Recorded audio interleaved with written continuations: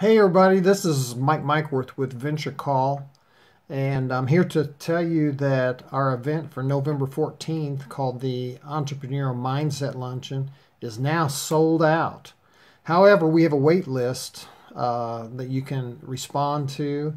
If uh, we have some cancellations, be happy to contact you. So just go to um, go to the registration. It will direct you to the wait list and as in most of these cases, most of these events, people will fail to show up or cancel out. And uh, I just don't want uh, there to be vacant seats. So I'd encourage you to go ahead and sign up on the wait list and hope to see you here in a week or so at the uh, Entrepreneurial Mindset Luncheon. Thanks.